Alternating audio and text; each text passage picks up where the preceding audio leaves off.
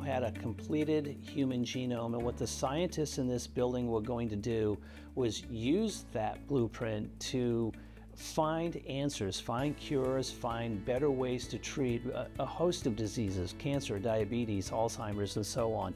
And that was really exciting. I mean, I'd been at the beginning when they were sequencing the genome, talking about the promise of the genome, and this was going to be an opportunity to see that promise come to fruition in ways that were, you know, previous thought impossible. TGen is a precision medicine pioneer. So we work on the basic science side, but the science and the research that we do is really a coordinated effort from the clinical partners that we partner with. So we do translational research, and that means basically from benchtop to bedside.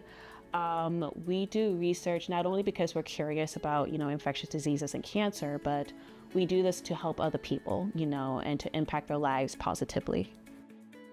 I mean, we could talk about the research, the cutting edge technology, but at the end of the day, all that is for saving lives.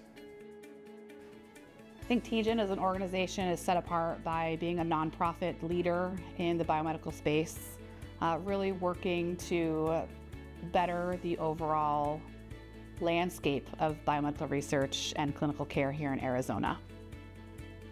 The work culture at TGen is quite relaxed, quite fun um, but very focused on the science and very focused on talking to each other, giving each other ideas, helping one another, um, and just really providing an, an welcoming environment that anyone can be a part of.